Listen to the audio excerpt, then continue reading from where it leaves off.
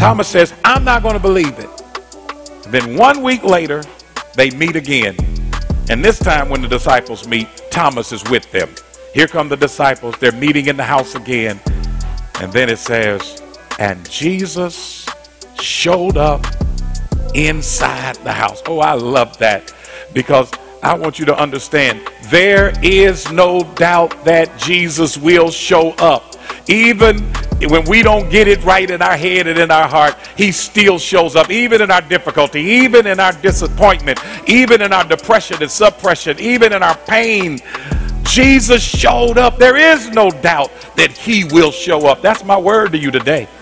I don't care how bad things are in your life. Jesus will show. I don't care how bad it is in your family or community. Jesus will show up. What's up, family, and welcome to Eastern Star Church, where Jesus is exalted and the Word is explained. And yes, uh, churches have been shut down, businesses have been shut down. We're still in a quarantine, still in a pandemic, um, but it's more important than ever that we continue to exalt the name of Jesus and continue to explain God's Word um, and we're going to do that even on today.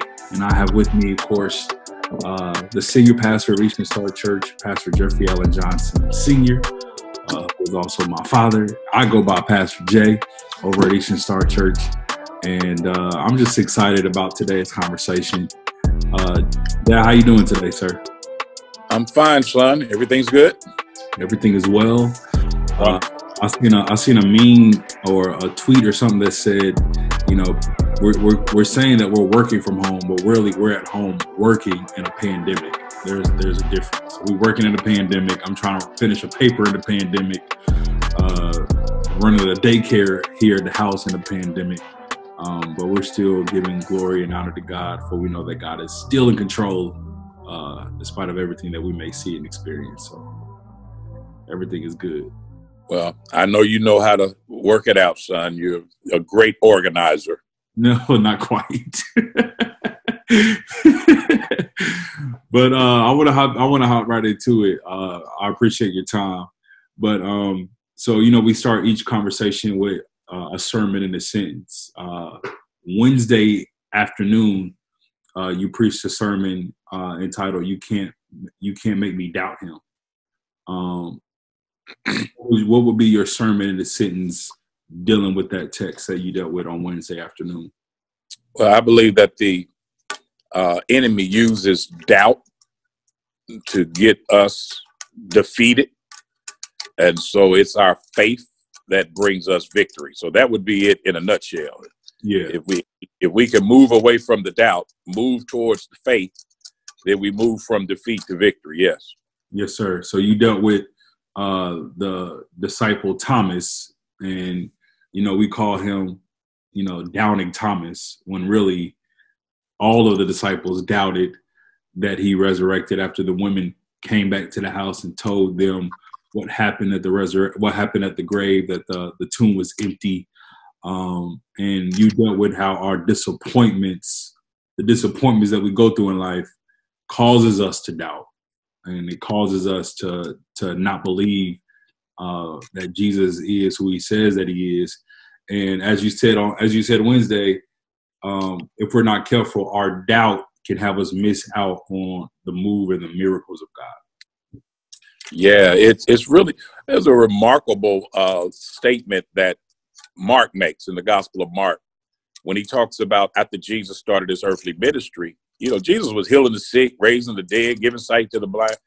And I believe all the Bible. I believe I believe the the the axe head swam and the jackass spoke. I believe the Bible from Genesis to Revelation. Right. And I believe that Jesus worked miracles. I believe he turned water into wine. I believe he gave blind their sight and deaf the ability to hear and mute the ability to speak. Then Jesus goes back to Nazareth. And when he goes to Nazareth, he preaches and teaches and everybody is amazed at his wisdom and his knowledge and his understanding. And then they started talking about, isn't this Mary's son? And then they start naming his brothers and who they are, and we know his sisters, and and and right after that, it says that Jesus could not perform any miracles in Nazareth except he healed a few sick people. So we know that his he has the ability and the power to heal. We know that and to deliver and to do miracles, but he couldn't do it according to Mark. He could not do it. Not he didn't do it or wouldn't do it. He couldn't do it mm-hmm. in Nazareth. And we know it's not power because he did it everywhere else he went. It's because they didn't believe, Mark said. And it is that disbelief, it is that doubt that keeps us living these defeated lives. And then we miss out on what Christ is able to do. And then we say, well, Christ is not real. No, he's real. It's just you don't believe it. And when you don't believe it, then you're blocking the blessings from coming in your own life. And so when Thomas, and as you said, with, the, with all the disciples, all 11 of them, of course, Judas already did that, which was self destructive. Right. All 11 disciples, when they first heard about the resurrection of Jesus Christ, none of them believed it.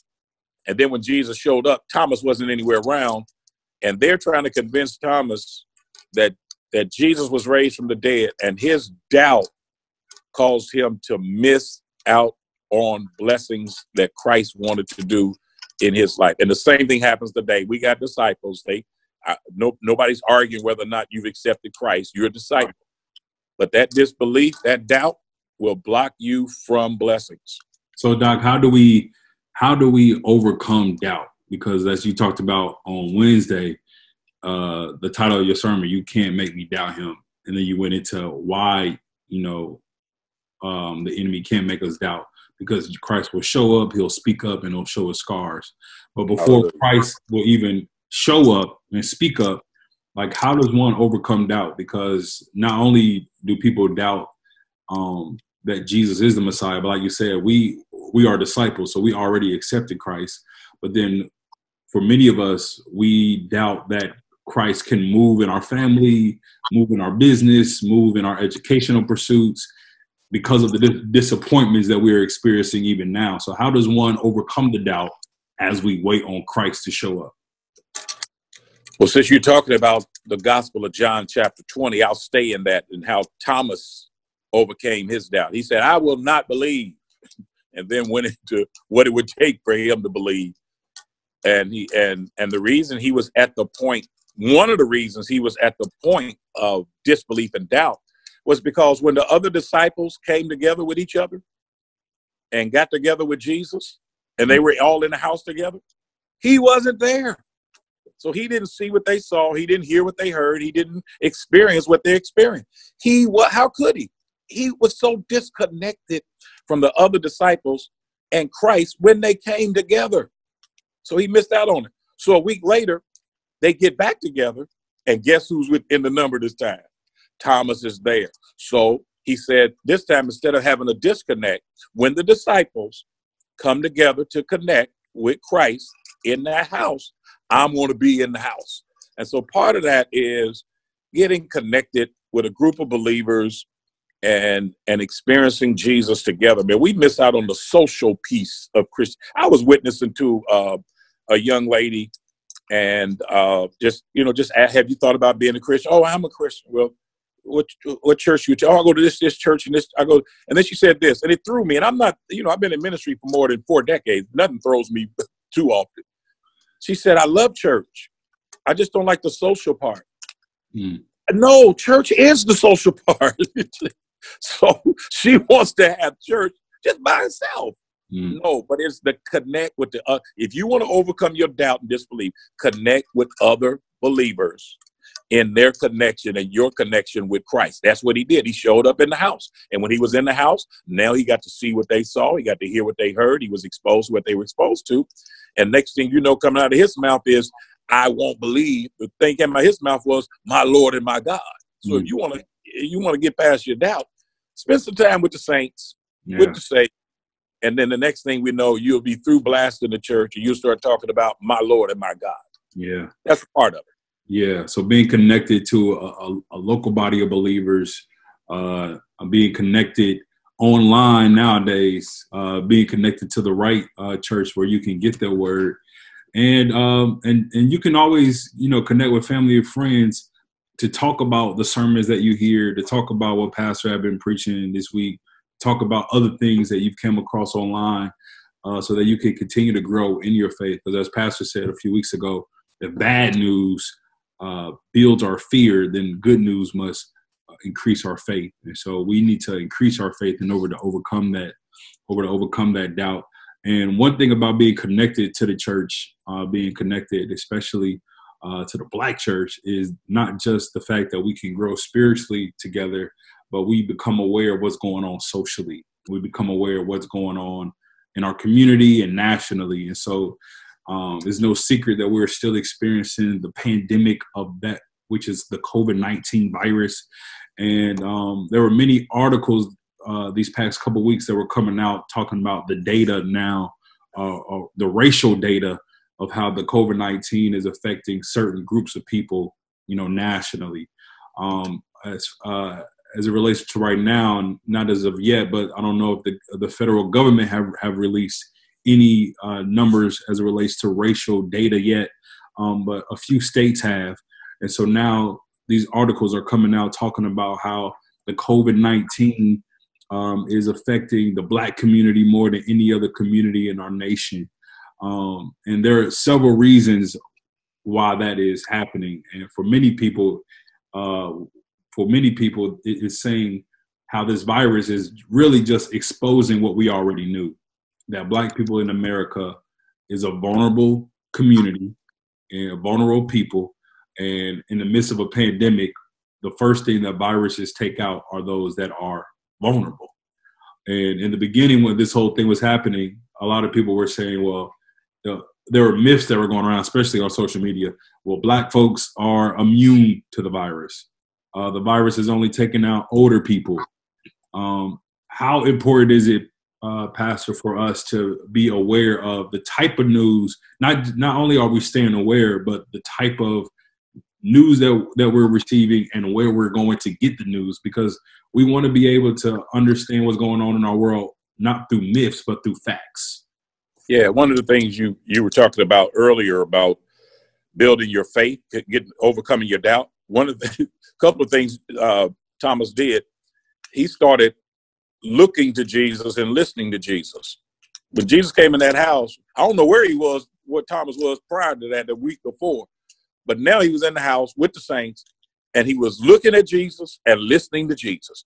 And so, who you look to and listen to spiritually, but also who you look to and listen to socially. And and and when they're when you're talking about this is not affecting our communities, not affecting black people, and all of that, part of that was we're not counted we, we're not considered. You're not even a part of the discussions. That when they start talking about testing, they don't run to our communities and give it to us. How do you know if we got it or don't have it when you won't test us? There's no equal testing. And if you can't have equal testing, you can't have equal remedy. And so when you start hearing about numbers of black people uh, disproportionately in these uh, major cities that uh, are getting the coronavirus, dying from the coronavirus, um, it's systemic. That we're here's a community that has been overlooked. Here's a community has not been counted. Here's a community has not been treated equally. Here's a community that has not been treated justly. And so now, when this crisis comes in, the people who support the, the people who make the laws and the people who make policies that have been voted into office now starts blaming the victim. There are victims in our community. So here, here are black people, and they say, well, black people need to take better care of themselves. Take better. How can we take better care of ourselves when you have systems in place that won't allow us to get health care? It's almost it's very difficult to get it, or almost impossible to get it. Then you so take better care of yourself. Well, in our communities, that there are food swamps, food deserts, and Freddie Haynes Dr. Frederick Douglass Haynes III doesn't call them food deserts. He said deserts are natural. This is food apartheid. These are policies that have been put in place to keep food from certain communities. So when you don't have in, in our communities of black people and brown people places that they can get healthy food options, of course we're going to be sick. And when that virus connects with a sick person, it goes after them. We're sick because economic there's no economic development in our communities. And when there's no economic development in our community, you think that's not going to impact us in our physical health? Of course it does. And then no healthy food options, no health care available. And now when we're looking to those who are in office, we they're voted in office, supposed to be working for us, and instead of coming up with policies to come help us, you start talking about you need to take better care of yourself. You cannot oppress a community and then talk about y'all not taking care of yourself. That's the, they're the victims. Black people and brown people have been victimized. And then the people who victimized them now are saying, you got to take care of yourself. But then when it comes time for testing in their communities, then they show up there. And then you, you talk about the, the impact it's having on black people. Son, we're on the front lines. They keep talking about, oh, the frontline people. Oh, we really got to take care of them. Right. And you have it. So you got black doctors, you got black nurses, uh, you have black firefighters, black EMTs, black sanitation workers, black bus drivers. We're on the front line. And you didn't provide the right equipment. You didn't provide uh, the right instrument. You didn't provide the right protection. And now you attack the victim so it's it's really insane. And uh, it, we and as you talk about spiritually, we got to be careful who we look to and listen to, and socially, we got to be careful who we look to and listen to, because there is a reason that it is attacking our community the way it is, and a lot of it is systemic. Yes, it's it's systemic and it's also historic, um, and, and it's satanic. and it is satanic uh, and and all of these things, and really, what this virus shows again is exposure to what we've already knew uh, dealing with people of color uh, in in America. Black folks have been living within a pandemic for centuries at a time, and so now it's definitely just exposing um, the disparities in the healthcare system. Um, in addition to, as you talked about, the food, and then not even to mention the justice system um, and so now we got cities like you know Louisiana. Uh, uh, we got we got areas like Louisiana, Chicago, Memphis, Philly, Michigan, all these different places where Black people, uh, the population is less than twenty percent, but uh, the effects of the COVID virus and those that are dying from it now numbers have increased, but uh, you know, I'm sure by now. Um, but as you talked about, uh, the bad they talked about bad choices because of bad food choices related to our underlying health problems. But again, that is systemic and historic, not just bad choices, but you have to deal with the environmental context of it. Because people like Flint, who had to suffer with bad water, and now that all that has causing these underlying issues. So when they uh, get the virus, as you said, it's attacking our these organs and these things within the body that were already had negative impacts on them because of the environment that they lived in, and not just not just that, but the living environment. Because you talk, you know, they, they say in order to stop the spread, we gotta we gotta have social distancing.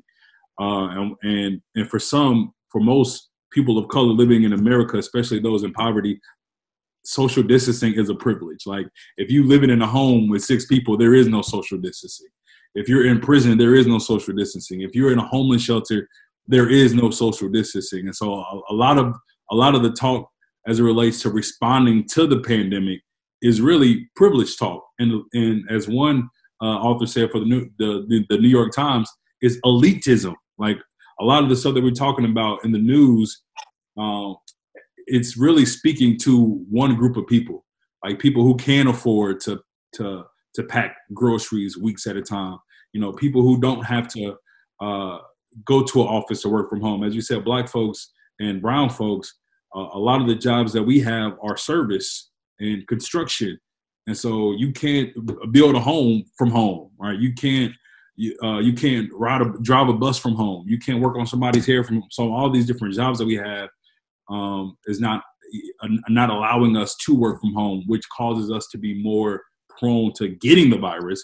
And then the systemic issues that are in place are now having us die from the virus. Yeah, and and even with grocery, I was listening. They were saying, "Don't even go grocery shopping. Just have your groceries delivered." I'm like, "Yo, who are y'all talking to?" That's an indication they're not talking to us. You can't take food stamps and call somebody and tell them bring your groceries from Kroger. That's not going to happen. They're not even going to allow you to do that. So the messaging is not for us. The policies are not for us. It is it's systemic. It is satanic. And then to blame the victim rather than coming along with solutions and policies that can come alongside the people that have helped build this country and still building this country and still blessing this country is it's really a shame. It's really a shame. And but it's uh but we're gonna have to look out for each other during this time. The way we have done his you, you brought up is it's not just uh, systemic, it's historical. And historically black people have been overlooked and historically black people and brown people have had to come alongside each other.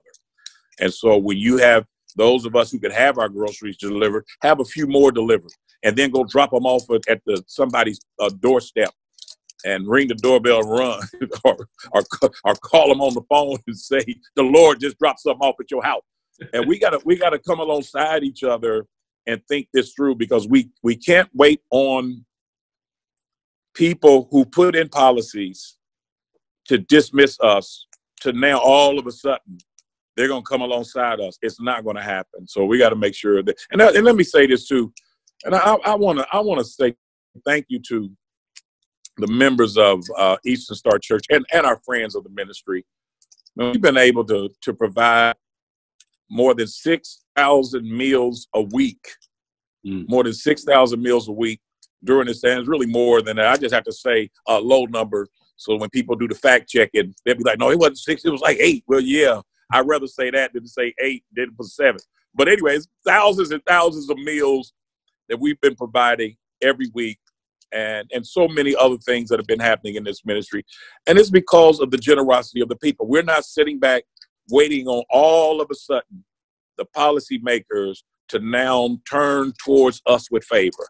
They need to because we live here, we work here, we pay taxes and we have the the rights to everything else everybody else supposed to have it's just it hasn't happened i'm not looking for it to happen by tomorrow yeah so like, like you said we really we really need to sound the alarm uh, and these numbers will really increase over time.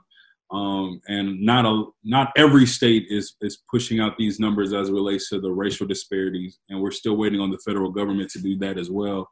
Um, but it's not as as the old uh, saying goes, when when white America gets a common cold and black folks uh, get the flu, and as uh, Dr. Haynes uh, asked the question, well, when white folks get the COVID nineteen, what does that mean for black people?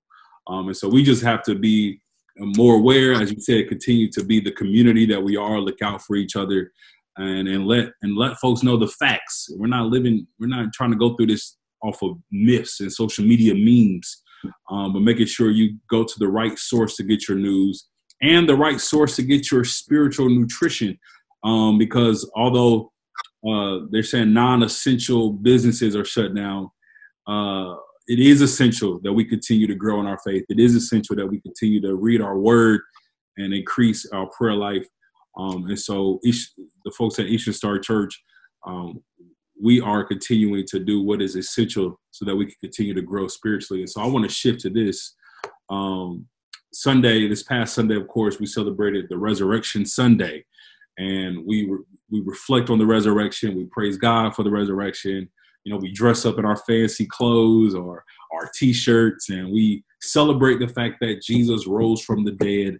Um, and so now, once the resurrection is over, the question is, what is next? Um, w- what do we as a people of God do moving forward uh, as after we celebrate the resurrection, after, like you said, Sunday, it is finished, but God is still moving. So, what does that mean for us as the body of Christ uh, moving past Resurrection Sunday? Yeah, I think it means the same thing uh, as you brought up earlier in John chapter 20, uh, when Jesus, when Thomas wasn't there and Jesus showed up in that house, uh, with with the ten disciples. I believe it starts at verse 19 of John chapter 20. Jesus came in and and said, "Peace be unto you." So one thing we talking about after the resurrection, we ought to have some peace. It was, and and you know that the Hebrew people at that time, man, they were in oppression and suppression and depression from the Roman government. They were in poverty. Uh, they were in difficulty. They were in hardship. And Jesus came in and said, "Peace be unto you." So you can get peace in confusion. You can get mm-hmm. you can get peace in the time of sorrow. That uh, the the God is able to provide peace if you keep my fact perfect peace if you keep your heart and mind stayed on Jesus. So part of our response is not losing our mind during this crisis because we serve a resurrected Christ and the same God that raised Jesus from the dead is living in us. So we got peace. We can have peace through this, uh, even as we deal with the chaos of the coronavirus. And then he said to them, um, receive the Holy Spirit. Hmm. So it's not just about going to church at a building. It's not just about wearing certain clothes. It's not just about who you download to hear your message from. It's about being filled with God's Holy Spirit. When we give our faith to Jesus Christ, believing his death, burial, and resurrection, the moment of that belief, his Holy Spirit moves inside of us. And the more we yield to him as we pray and we fast and we connect with other disciples and and and, the, and we meditate, the more we yield to the power of God's Holy Spirit, then he begins to fill us. That means control us, to influence us. So our decisions are influenced by the Holy Spirit. Our behavior is influenced by the Holy Spirit. How we come along other people, come alongside other people, that's influenced by the Holy Spirit. So he said, get you some peace, get, receive the Holy Spirit. And then he said this to him, talking about our response to the resurrection. He said, now, uh, the same way I forgave you, that's how you need to forgive other people. The stuff you, Jesus said, the stuff you did against me, sins you committed, the wrong you did, and all of that, he said, I forgave you. I let it go. Now he said, I want you to go and do the same thing for other people. Forgive other people, let it go, don't hold these grudges. And then he, he, he kind of messed me up. He said, Now, if you don't forgive these people, I ain't gonna forgive you. I'm like, oh Lord Jesus. So uh, the forgiveness is not just a blessing to the other people that offended you, but it's a blessing to you so that you have the freedom that you need to have. And then finally, he said in that text, um, he said, you get, you get your peace. Uh, he said, uh, Holy Spirit, forgive. Then he said, I'm sending you the way my father sent me. This is an assignment. This is our purpose. So now the resurrection, we celebrated. What do we do? Well, Jesus said, the same way my father sent me, that's how I'm sending you. Well, how did he send him? Well, he sent him to save souls. He sent him to expand the kingdom. He sent him to forgive. He sent him to feed the hungry. He sent him to bless. And so the things Jesus said, the stuff you saw me do, now you go out there and do it. So you're right. The resurrection is not a time to sit back and say, well, I just got through another resurrection Sunday. No, it's time now to go out and do what Jesus did and being a blessing, come alongside others, helping people get saved, helping people to grow as disciples in the kingdom of God. Man, you just preached a sermon in like two minutes, Doc. you are Jeffrey Johnson. well, at least I read the Bible. So if people start reading the Bible, they'll they'll get everything they need from the Lord. Yeah. And, and, you know, and you talk, you focus on this a lot. And uh, you know, Jesus, since he said, "Go do what I did." Well, what did you do? Well, Jesus went and address systems yeah. religious systems of the Pharisees and Sadducees and the chief priests. He said, y'all, this this is not the way it's supposed to be. The, the kingdom of God is about to rule the reign and righteousness of God. The way y'all been doing it, this system is wrong. Yeah. Then he addressed social system. I was hungry. You fed me. I was outdoors. You found me adequate housing. I was in prison, and you got me some reentry services. That uh, I was I was sick, and you found me some health care even though I had pre-existing conditions. And so he addressed social systems. He addressed religious systems. He addressed political systems. That's why you hear him talking about Caesar, and you hear him dealing with Pilate and Herod and all that kind of stuff. And so Jesus said, "All right, now it's not just about singing and shouting in church, hmm. but addressing these systems that have brought injustice and inequality to people that now they tr- who've been victimized and now they're trying to call act like they're the villains in this. No. Jesus said go do what i did. Address these systems that have been shutting out certain people. So yeah i think that's the response. Yes and like you said advancing the kingdom of god which as you preached on many occasions the kingdom that jesus was advancing was completely opposite of what they were experiencing during that time. Um, not just the roman empire but human systems. Uh, you know, he's he's switching the religious system because once the, that curtain was torn down, we don't need a priest or a prophet or a preacher to get into the to get access to God. Jesus switched the religious system. He's like you said, the social system. The first shall be last, and the last shall be first. In the political system, he's King of Kings and Lord of Lords, all because he was advancing the kingdom of God. And so, when you and I, uh, as believers, really tap into that power that Pastor Johnson talked about, that that that Christ gave us, not just the peace of God, but the power of God uh, to go out and take care of our loved ones, to go out and, and change and challenge systems in our community, uh, to go out and help the church evolve to what God wants it to be. Um, that's when we are become more and more like Jesus in that in that endeavor. But I do want to ask you this because you talked about, you know, um, Christ forgave us, um, you know, forgiving other people, and um, when we look at Jesus, you know, the te- the Bible teaches us that Jesus was a he he he he had no sin. He was a perfect person. He had no sin. And when, when it comes to, to us, you and I, we are born and raised in sin, shaping in iniquity. So it's difficult for us to, you know, kind of follow the model of Jesus and not just not just the forgiveness piece, but in all aspects of life. How how do we as sinful people uh, do a better job in uh, following the model of Jesus, following the walk of Jesus, a perfect man how do how how do how do we as imperfect people follow the walk of a perfect person? Yeah, well, for one thing, we yeah we all sin, we all make mistakes, we all fall. We got weight and sin that we need to lay aside. But we ought to, even though we're not sinless, the longer you with Jesus, you ought to sin less. so, you know, it's not an excuse that you know we all human we all maybe okay well at some point you ought to grow and develop as a child of god you know when i when uh when i was when i was learning how to walk at 10 months 11 months and i would fall all the time get up try again i get up fall again just kept falling well by the time i was two i was falling less i kept falling but i was falling less and now I'm in my 50s, I very seldom fall. Mm. So the more you mature, the less you need to be falling. And so even though we're not sinless, that as we grow and develop as children of God, then we ought to sin less. And then how do we do it like Jesus?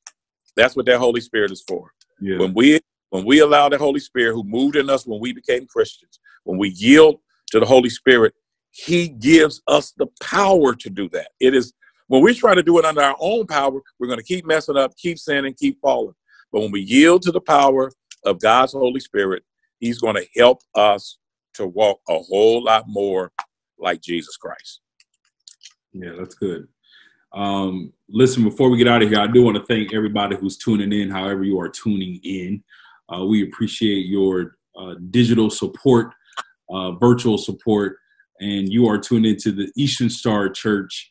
Um, you can find us on, on online, easternstarchurch.org. And of course, on our, all our social media platforms, you can subscribe on YouTube, follow us on Instagram, Facebook, and then even uh, subscribe to our podcast, Eastern Star Church Podcast, where you can get this conversation and all the other conversations and sermons that uh, have been preached uh, so far this year. And so, Pastor, before we get out of here, um, you are preaching this Sunday, correct? I don't have anywhere else to be. I'm, in, I'm in town, so I will be. Preaching. You are on the front line. You are an essential worker, Doc. We need that word. so uh, I'm like your grandmother. If the Lord says the same, yeah. if the Lord wills, I'll be preaching this Sunday. Yes. Can we get a sermonic trailer? You know, in the in the movies, they have these trailers to get people to come to watch the movie so if you were trying to get people to come to hear your word, to hear the word that God has given you as you would deliver, what would be your sermonic trailer? Well, I don't, I don't want to say something and then people not watch. So, uh, so I want to be careful. But we we started with uh, with Noah in in chapters six and seven.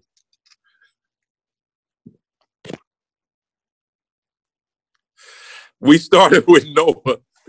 You got to teach me how to do this this this online stuff, son. So friends won't call in while I'm talking, and take me off the screen. So you got to help me to learn how to turn that stuff off before I get on.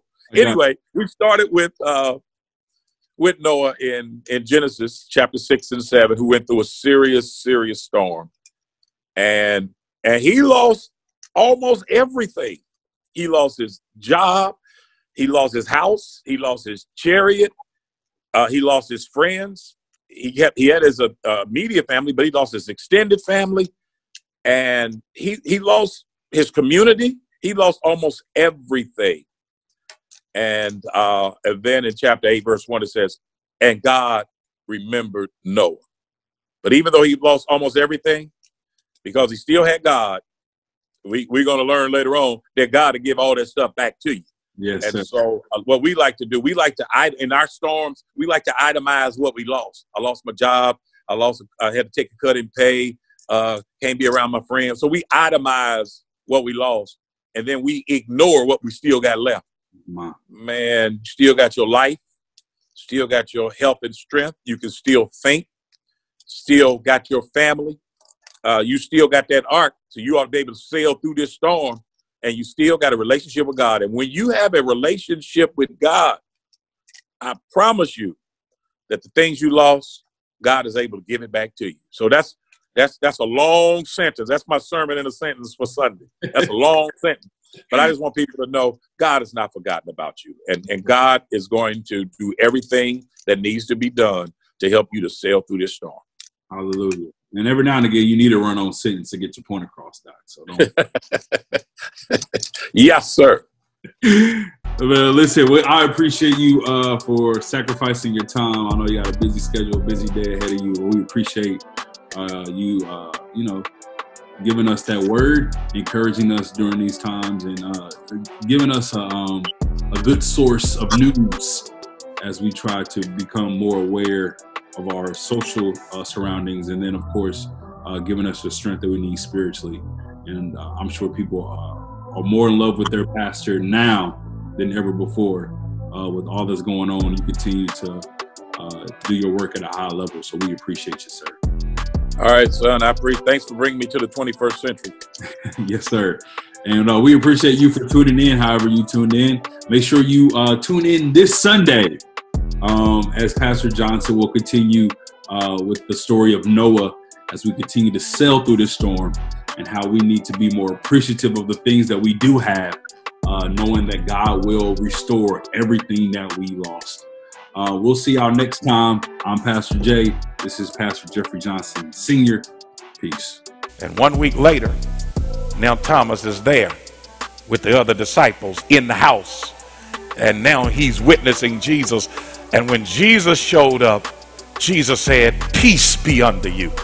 I know you got difficulties. I know you've been disappointed. I know you've been oppressed and suppressed. I know life has been hard for you. But then he said, Peace be unto you. You know that Christ doesn't have to remove confusion and chaos to give you peace. He'll give you peace in the midst of your storm. He'll give you peace in the midst of your sorrow. He'll give you peace that surpasses all human understanding. He'll give you perfect peace if your mind is stayed on Jesus.